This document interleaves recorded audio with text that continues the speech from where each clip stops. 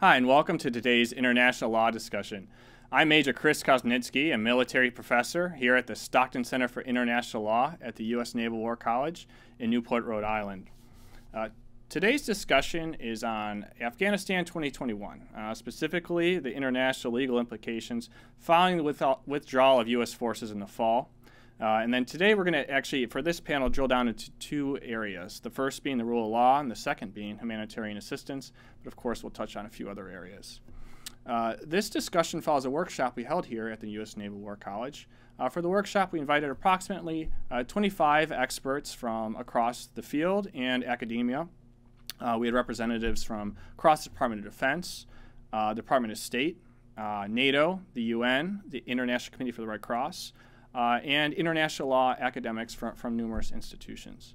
Um, the workshop was held under the Chatham House non-attribution policy. So today we'll be talking about some of the, the, uh, the discussion points, but we're not going to be assigning them to any particular individual. Uh, and I should remind everyone today that our participants are speaking in their personal capacity, so anything they say should not be attributed to their organization. Uh, today's moderator is Captain Tom Leary. Captain Leary is the Staff Judge Advocate for U.S. Central Command. Uh, he's had a 23-year career uh, as a national security law practitioner, serving at the strategic, operational, and tactical level.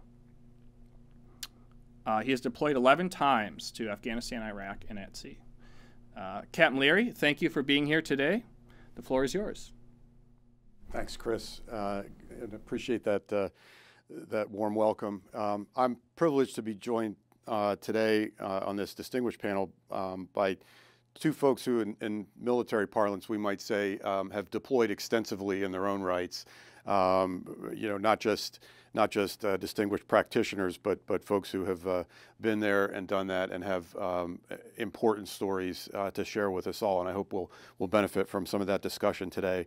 Um, to my immediate left is uh, Professor Erik Jensen, um, who uh, currently uh, teaches at the Stanford Law School and uh, the Center on Democracy, Development, and Rule of Law um, for the past uh, 35 years and visiting 40 developing countries. Uh, Professor Jensen has developed a, just a, a, remarkable resume uh, in support of rule of law initiatives worldwide and, and, has a great deal, I think, to contribute to, to our discussion um, on Afghanistan, both retrospectively and, and, and perhaps also looking forward.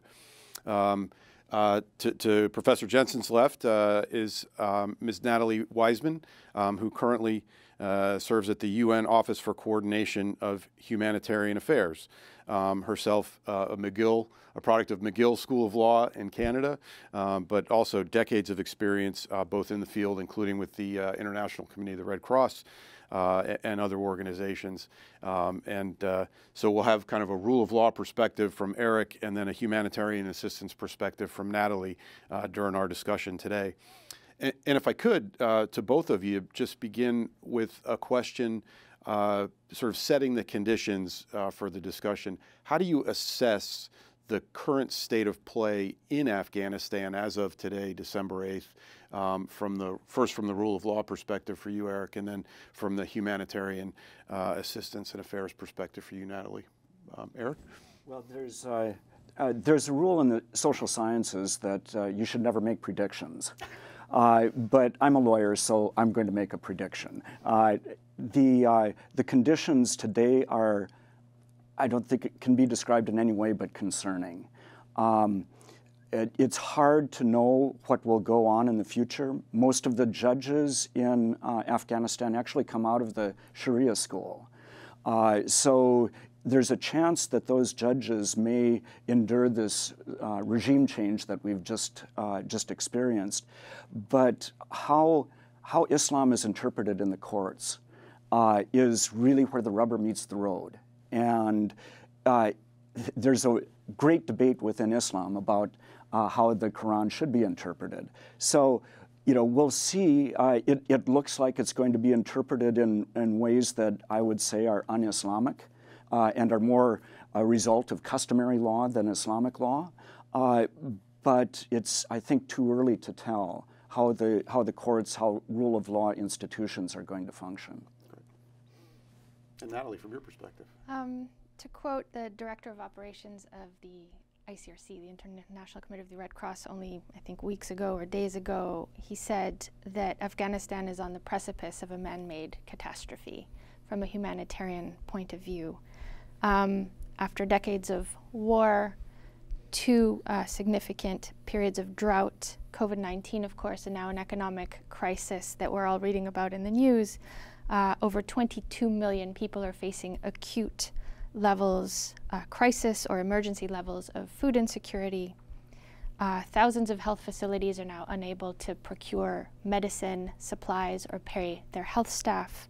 Uh, 13 million children are either out of school or at risk of dropping out.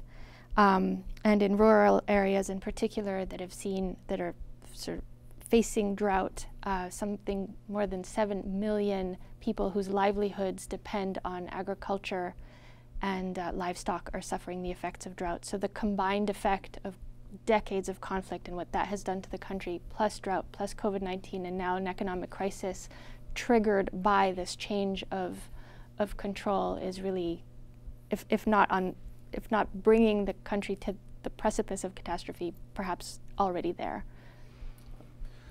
Well, and, and picking up on that point then, um, let, me, let me ask, in the context of a discussion on, on law, international law, what, what can international law tell us about, uh, about how to proceed in light of uh, us finding ourselves, or the Afghans finding themselves on that precipice?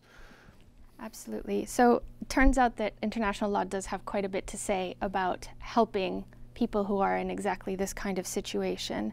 Um, and there are 160, some, around 160 humanitarian organizations ranging from local NGOs, international NGOs, um, the ICRC, and movement components in the UN working hard to, to meet those needs.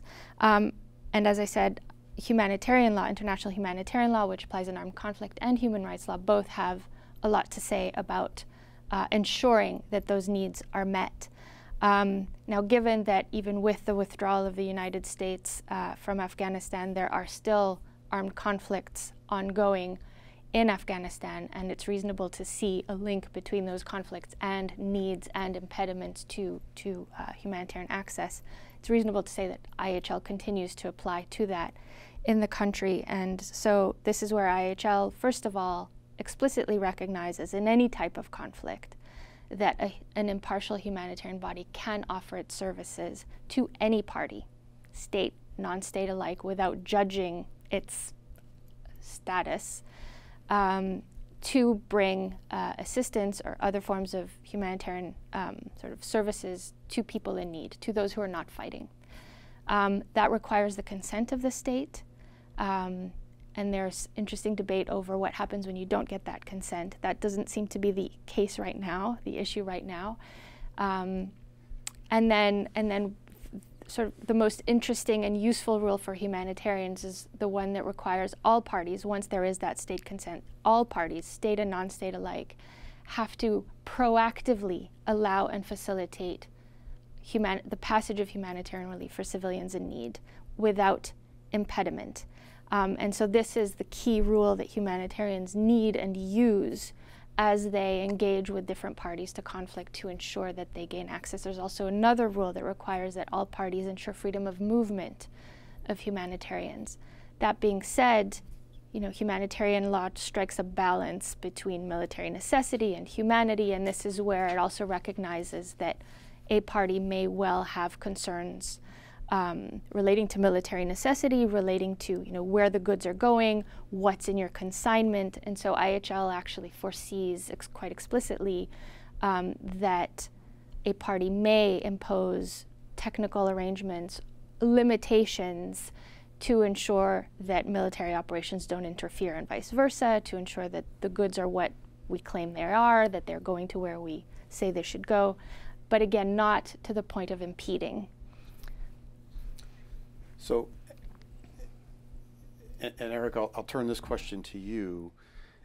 The, the description uh, that Nathalie provides of an international regime, uh, international legal regime that would govern um, the delivery of aid, um, you know, strikes me as something that would require some institutions within Afghanistan to provide sanction if uh, for failure to, to abide by those uh, those important provisions, um, or at least you know some legal infrastructure to apply.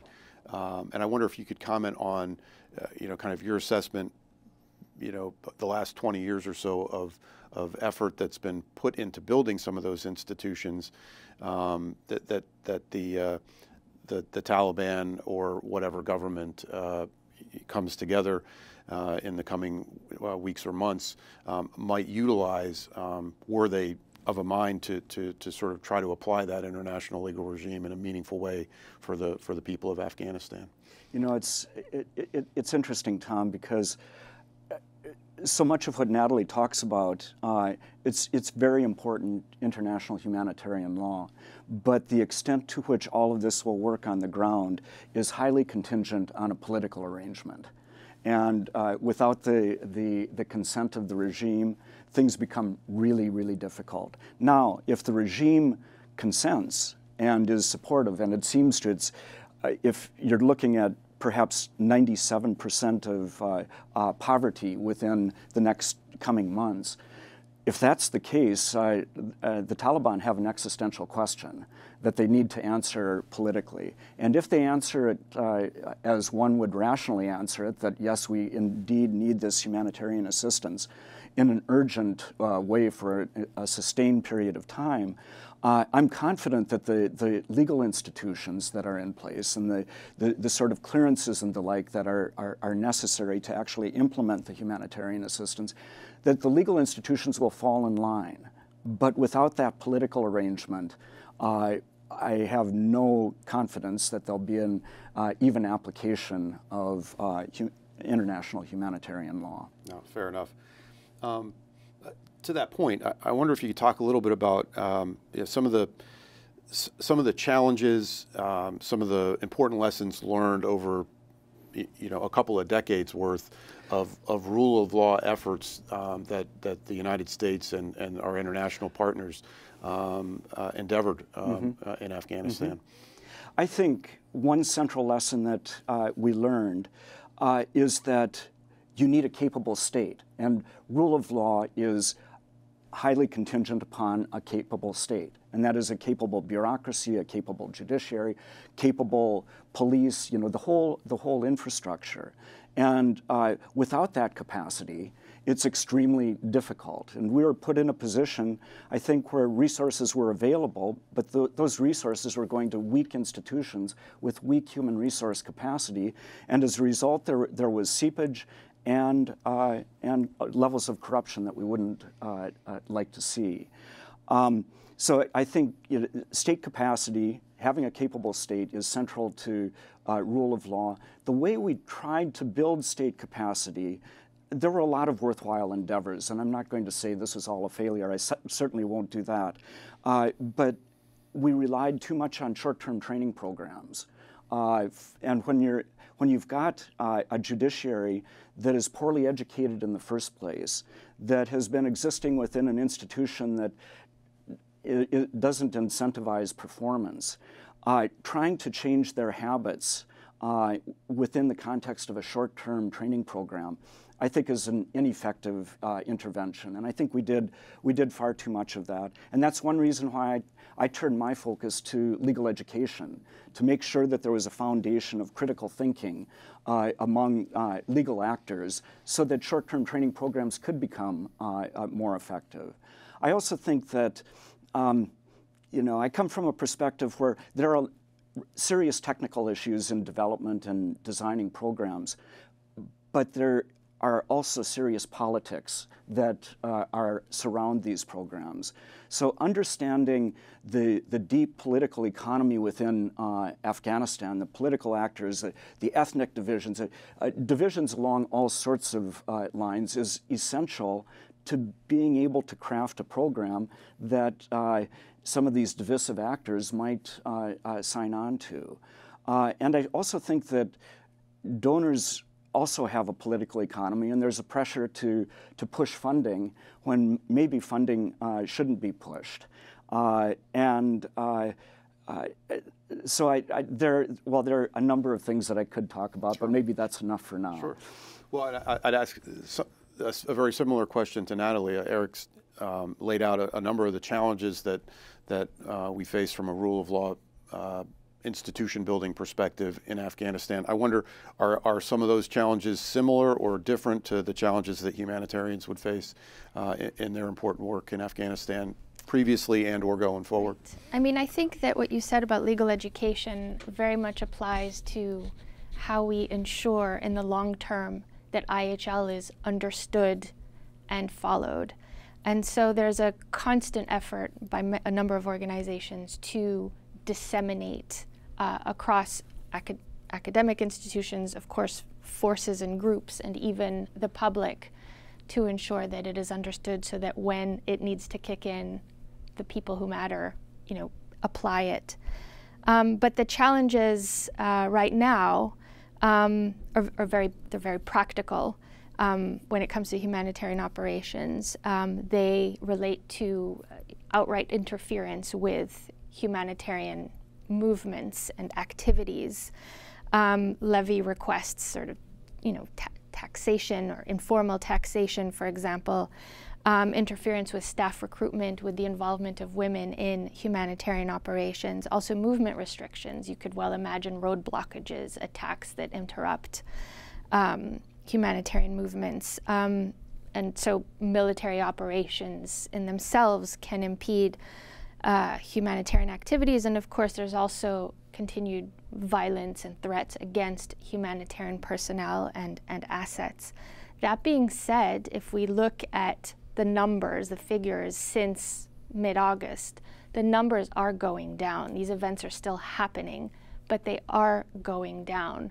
Um, no doubt as a result of the change, of the fact that there is much less fighting. There is still fighting, but perhaps less of it, and you know there's been a, a shift in in control, um, and so that's where you know we have to kind of keep our eye on on control. It is often in other situations when control shifts and new parties begin to control territory that those challenges increase. First, because fighting is likely to increase, but also because that's when parties will get nervous about humanitarian assistance reaching areas where they do not have control and they get nervous about where that aid is going to go and how it's going to um, sort of solidify even even sort of mindsets um, and and um, sort of fuel fuel the war. Um, so this is where international humanitarian law often needs to kick in to sort of support and underpin uh, engagement with the parties to ensure that that passage can can happen. Um, but as I said, right now, um, the access difficulties, from a pragmatic point of view, are those that I described, and and the figures are actually going down. So we, in the in the military domain, we often, and the political military domain, and diplomat, diplomatic as well, we often are, find ourselves talking about Afghanistan from the standpoint of leverage. What leverage do we have over uh, the, the Taliban? And right now, I think a lot of the, the dialogue is about their desire for legitimacy and their desire to, to uh, sustain their population so that they don't lose it. Are there any other important levers that the humanitarian uh, efforts on the ground um, would, would benefit from accessing?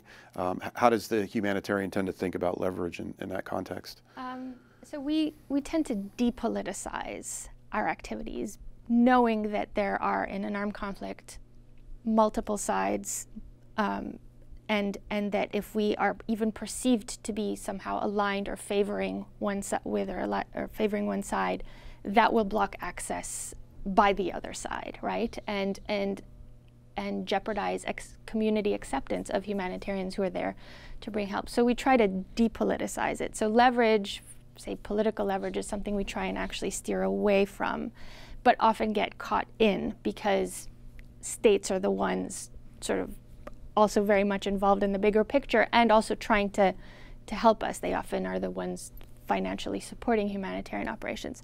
So it's a tricky balance. I think that um, you know the leverage is ideally the law to the, the, the extent that parties respond to it. A lot of public advocacy, private dialogue.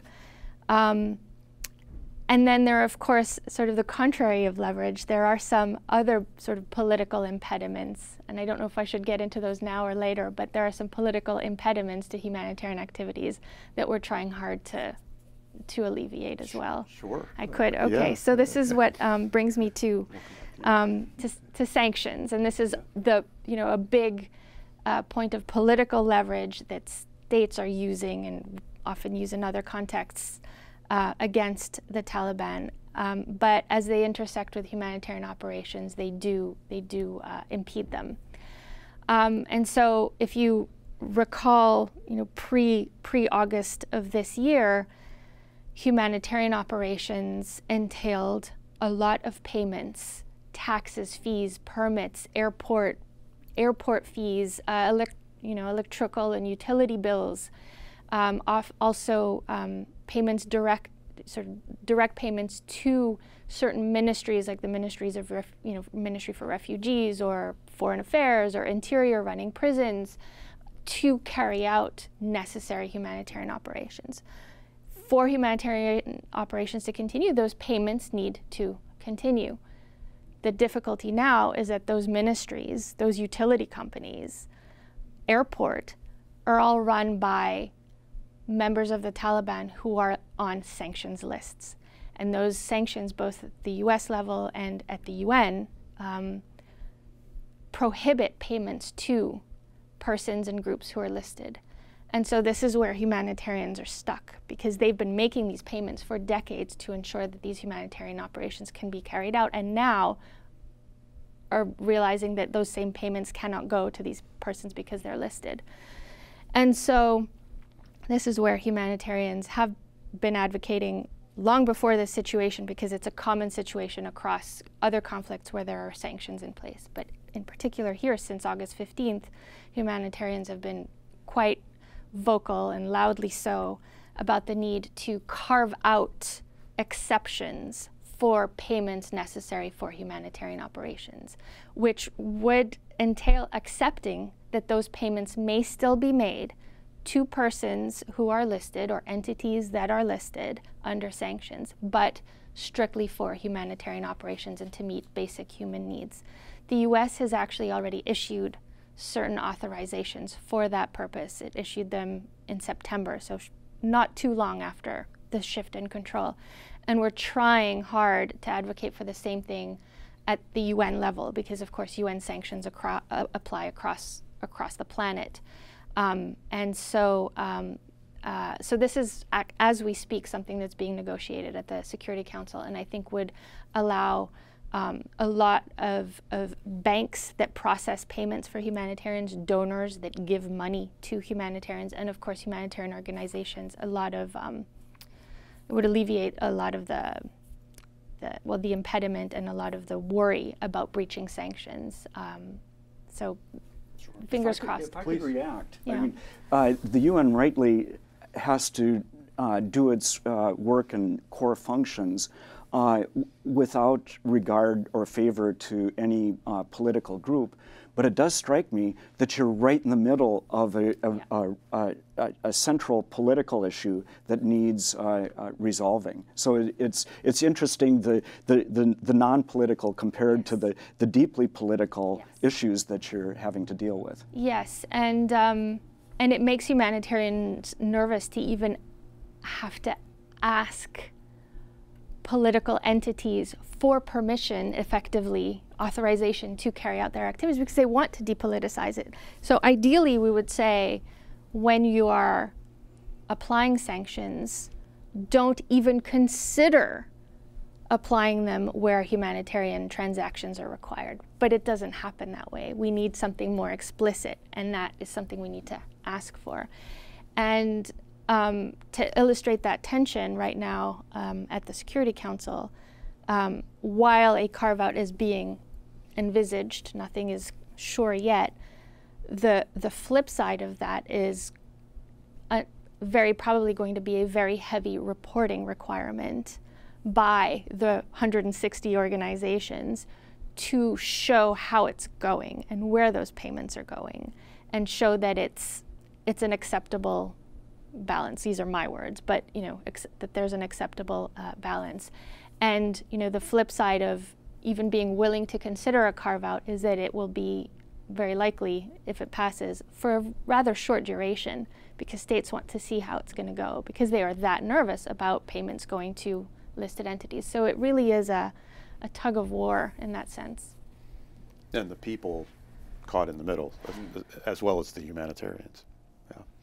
Uh, Erik, if I could yeah. turn, turn the, the, the, leverage, the incentive uh, question to you from the rule of law perspective, um, where it seems to me that there's a there would be a similar um, question uh, associated with encouraging or incentivizing um, a, a, population, um, a government um, to to uh, uh, to engage in, in institution building and, and, rule of law building, and and I would ask you to look at that both retrospectively uh, as well as prospectively. And again, I know we, we hate to try to predict the future, um, but but whether there there are sufficient uh, uh, you know kind of shoots uh, of, of encouragement uh, bursting from the ground that, that could potentially continue to grow from a rule of law perspective?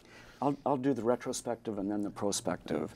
Uh, the retrospective, uh, I know that there's a, a, great deal of, of disappointment about how, how, how it all ended in, uh, in uh, Af Afghanistan.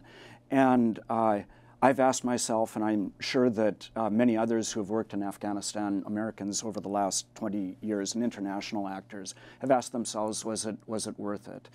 And the, the things that I was involved in, in building human resource capacity for, uh, through legal education for a younger generation that's trying to imagine a different future for its country, was really gratifying. We had an opening, we had space, we seized that space. We hope that these uh, uh, young leaders uh, will at some stage play a very helpful role in the development of the, the country.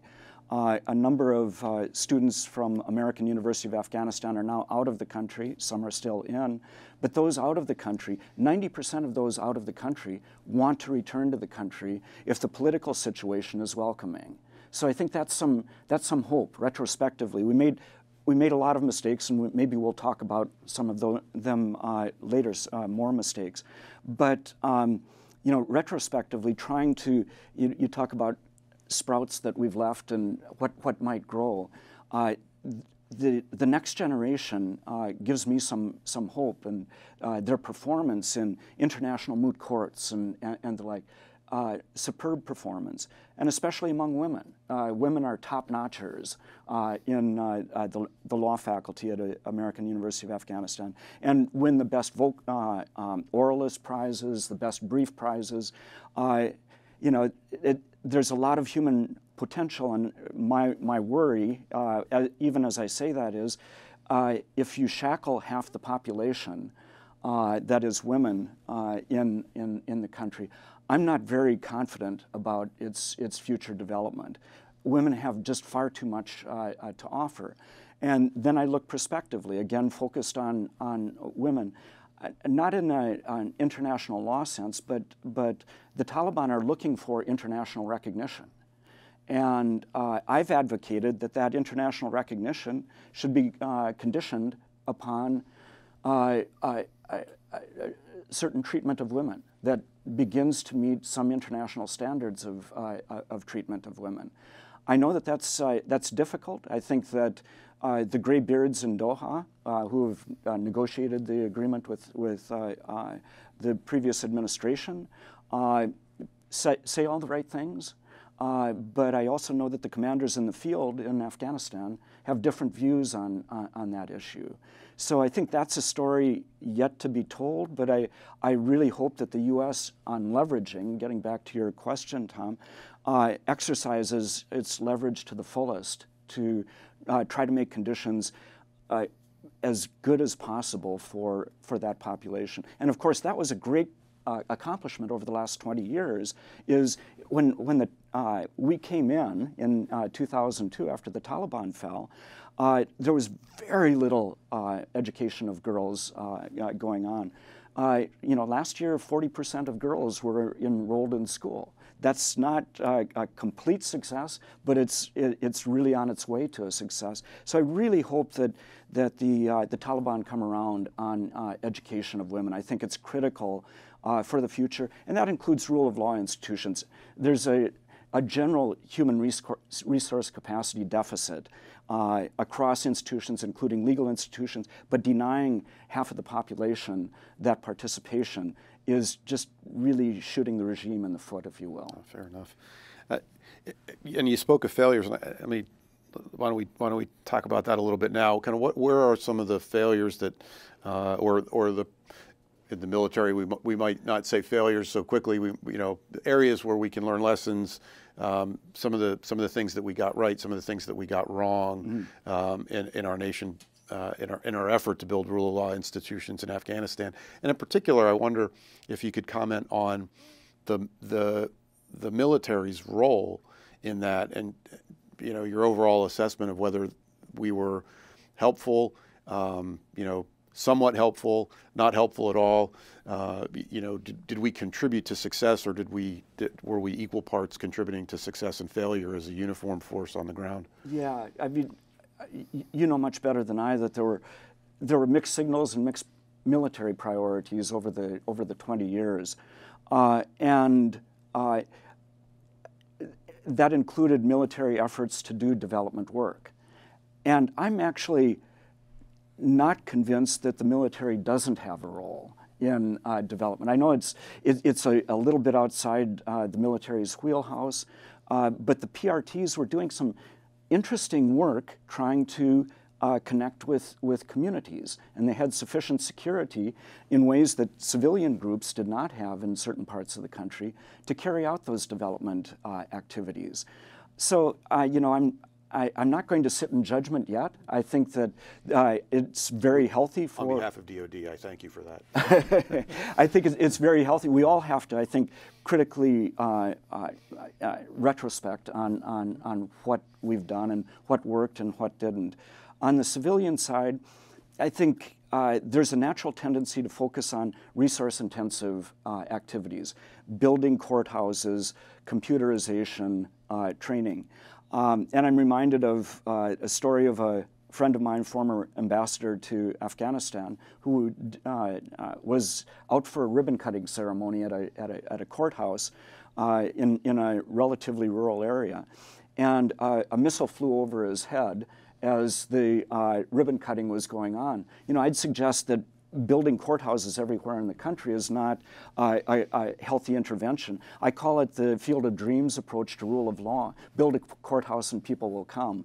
And I think uh, we, we didn't take adequate account of informal institutions, the jirga and the like, and what they do well and what they don't do well. And I think that deserves some uh, critical examination too.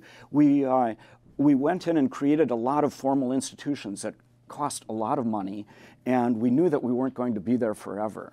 Uh, and that's including legal institutions without looking at what, what jirgas, what informal institutions might uh, do well. We know that the, uh, these jirgas tend not to uh, handle issues well where there is power asymmetry, where you've got a, a powerful person in the community and a, and a, weak person in the community economically. And we know that they don't work well on uh, gender issues. Uh, so try to carve that out and try to think of another institutional uh, arrangement so that you can mitigate the, the weaknesses of the formal institutions, informal institutions, but don't create formal institutions to just supplant the informality that is deeply embedded and deeply wired in Afghan society. It strikes me that, that your, your comment echoes um, something that General Milley, the chairman of the Joint Chiefs, uh, testified to um, with respect to a lot of the work that the department did in terms of building the Afghan military. And he openly questioned um, whether we tried to build it too much in our own image, um, you know, rather than um, looking at what worked in Afghanistan as a as a organic structure and, and kind of building out from there. So uh, so that's a that's an interesting observation and, and one that echoes, I think, for or will echo for DoD. And I think you know that cuts across uh, civil and military institutions that we we, we tried to create. Mm-hmm. Uh, uh, you know, we need to do a better job next time. I would suggest, and I know that I'm an academic and I'm accused of creating research projects out of life, but uh, you know, baseline research is really important to figure out in, in the legal domain where are people going, uh, what insti uh, informal institutions exist, where are people going to resolve their disputes, and what's, their, what's their level of satisfaction with the dispute forum that they, they access. That's just basic baseline research that I think in many areas we failed to do. Mm -hmm.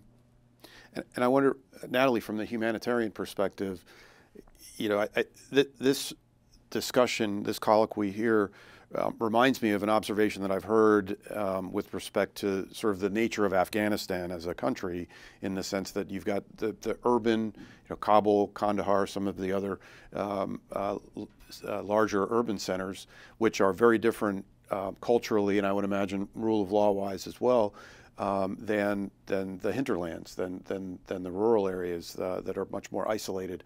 Um, I wonder, from the humanitarian perspective, um, is that what you're seeing now? Is, is the the needs are very different uh, in the rural areas than they are in the in the urban areas? Um, and are the challenges uh, similar or different depending on where the where the need is uh, is lo located? Um, excellent question, and I don't necessarily have a full answer um, because I haven't looked into that, that level of detail. What I can say is that the novelty right now that has not been seen in the past is that acute levels of food insecurity are now being seen in Kabul, whereas it was typically not seen there but in more rural areas. So it really is, you know, more than half of the country's population that are now facing uh, acute levels of hunger in cities and in rural areas of course, um, areas that, that, that rely on agriculture um, and livestock, um, where there is, you know, where drought has a significant effect, are, those areas are, are significantly affected. But it, I was looking at a map yesterday of, of, um, of where humanitarian activities are being carried out across the country. And with different shades of blue, you can see where there is more intense activity or less. Now, I'm not familiar enough to know what was rural and what was not. But I can say that there were only maybe th three or four white areas which suggested that there was no such activity for whatever reason. The rest was covered. So it really is a level of need that is across the country uh, in terms of need, you know, food needs, but also medicine, habitat, water and sanitation, education. It really is across across the country. Um, Erik, for you, I, I, let me just uh, ask. You know, some commentators have argued that uh, state building is just not possible, um, be it by a military or or, or by a, uh, a combined effort, military and, and civilian. Um, I'd ask you to respond to that to that comment. Yeah. I, I know that that's a, a popular debate in Washington these days that we can't do state building. And uh, at the outset, I want to distinguish between state building and nation building because those two terms are frequently conflated. Uh, uh, state building is the, the uh, creation of new institutions or the reformation of uh, existing institutions to try to make a state work. Nation building is, is about developing a, um, a shared vision of the country, uh, common values, uh, uh, historical memory, and, and, and, and, the like. That's quite different, and that's hard to do with international in interventions. I, am not going to be so pretentious as to say we can create that common vision for, for any given country. But I think we can, uh, if we do it right, uh, contribute positively to the creation of new institutions or the reform of existing institutions if we do our homework. Uh, and I think in many ways we, we didn't do our, our homework and we, we created a, a wide scope of state functions that are now reliant on a lot of funding to support public institutions. And uh, I don't know where that money is going to come from uh, uh in the future. Okay, thanks. I think um, maybe maybe the last uh, kind of round of questions here. Nathalie, let me ask you. You know, you, we, we have two somewhat disparate disciplines represented here on, on the panel: rule of law and, and, humanitarian assistance. But they, I think, they are not unrelated. And, and what I'd ask is, um, and you can answer this retrospectively or prospectively. You know, if if you had if you had Erik Jensen, you know, sitting on the panel with you uh, 20 years ago, 10 years ago, five years ago, and, and we're thinking about uh, an Afghanistan uh, humanitarian assistance requirement, you know, what sorts of rule of law uh, efforts or institutions would you be looking for to, to, to make sure that the humanitarian assistance, you know, might be delivered or deliverable in a meaningful way? And then I'll flip that question around to, to give you a second to think, because um, I realize I'm just pulling it out of thin air. Uh, but I'll flip it around, and, and, and, Erik, I'd offer, you know, thinking about humanitarian assistance and it as a as a potential ongoing um, requirement in a in a in a place like Afghanistan, where, where there is certainly need. Um, you know, what what sorts of, of rule of law initiatives, you know, might we have focused, uh, you know, differently on or or um, better on perhaps um, to ensure that that uh, you know need is is is made available. You know, Nathalie, thoughts on that? They, they, like, and, and, you can also fight the premise of my question no. that they're that they're.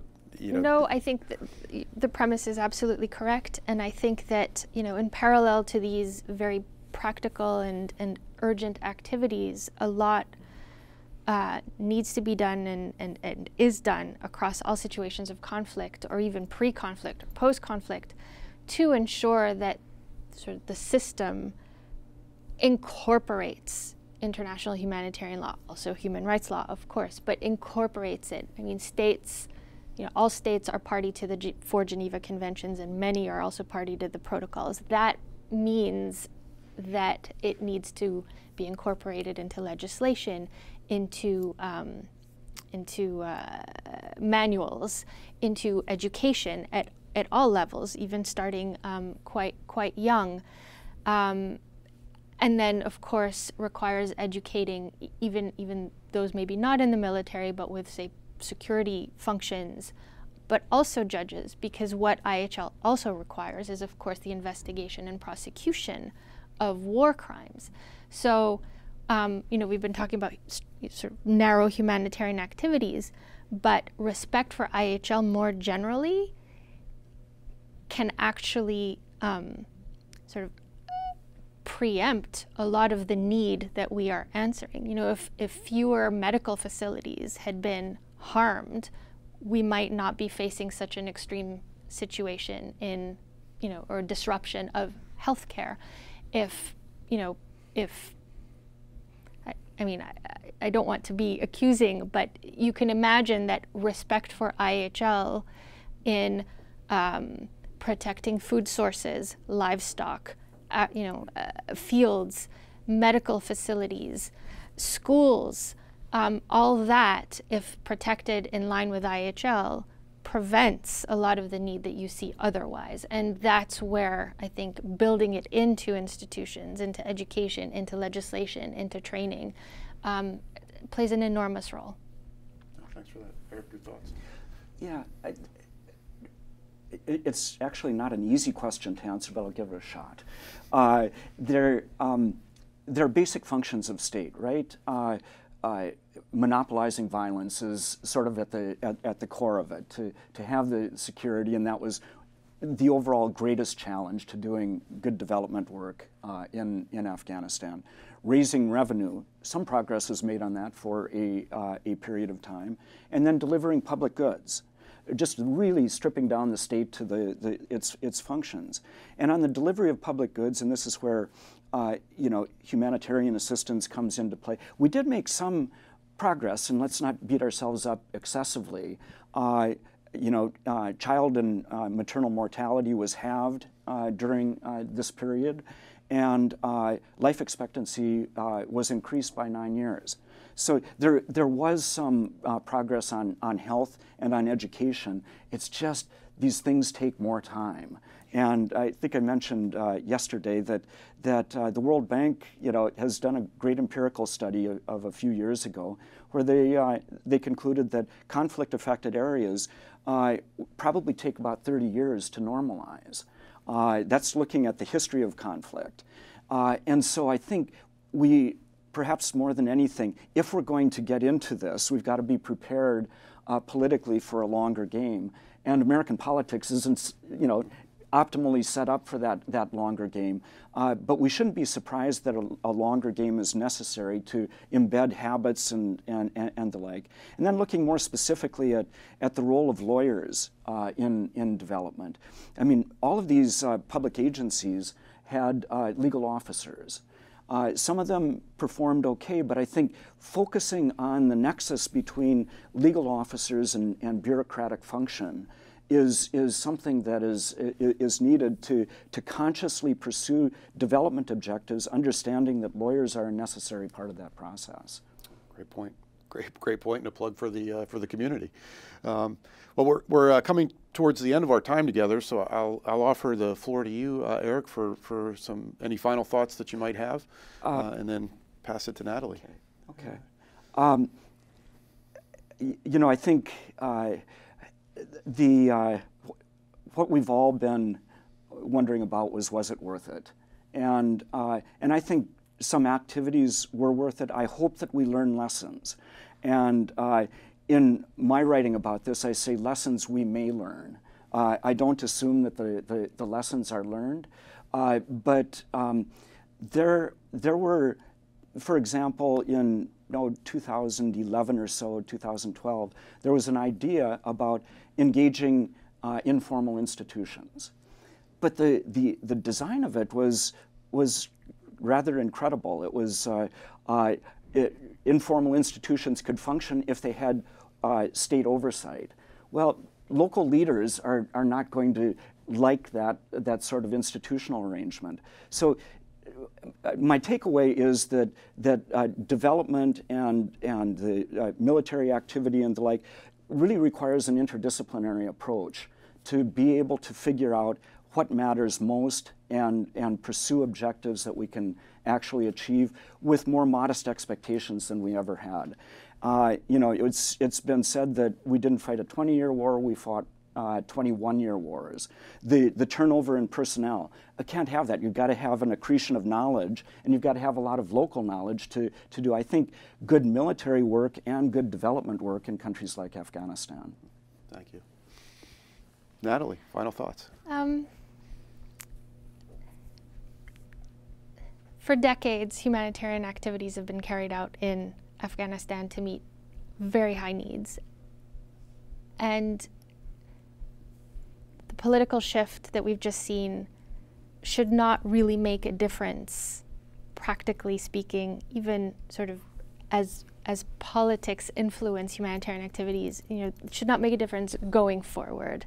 Um, as I said, it's very important to um, remove politics from everything humanitarian. And so there's a lot of talk about this shift and what it means. And I would like to argue that for humanitarian activities, really it should not make a difference. I mean, we've seen needs actually rise, um, in particular because of the economic sort of crisis caused by this. Um, but I guess, yeah, the main point is everything needs to be done to remove politics and remove the leverage, political leverage being exercised against the Taliban from humanitarian activities. And that's what IHL aims to do. It's also you know what you derive from human rights law when it comes to meeting basic needs. Um, so I think it's important to to look at humanitarian activities through that apolitical prism. Well, thank you. Erik Jensen from Stanford, Nathalie Weizmann from the United Nations. Thank you very thank much you. for this candid discussion. Uh, and thanks to the uh, Naval War College for, uh, for hosting this discussion. And uh, back to you, Chris. Thank you, sir. Well, on behalf of the Naval War College and the Stockton Center for International Law, I want to thank our panelists. Um, there aren't many institutions where we can get together a, uh, the Staff Judge Advocate for a Combatant Command, uh, prof- uh, professor from Stanford, and a, a, a, member of the United Nations. Um, but I'm thankful that you took us up on the offer to have this uh, very interesting discussion. Uh, we see here the d- discussion on the role of attorneys um, and on how uh, international law is something that when it's applied, um, you know, the facts on the ground really matter. And I think that came out today. Um, if you'd like to learn more about what happened at the workshop, please tune in for our other panel uh, featuring Colonel Chris Ford from 1st Special Forces Command. Uh, he has a conversation with Professor Laurie Blank from Emory University. In that discussion, they talk about classification of conflict, uh, rules of engagement, detainees, and uh, non combatant uh, evacuation operations. Uh, that's it from the Naval War College. Thanks for watching.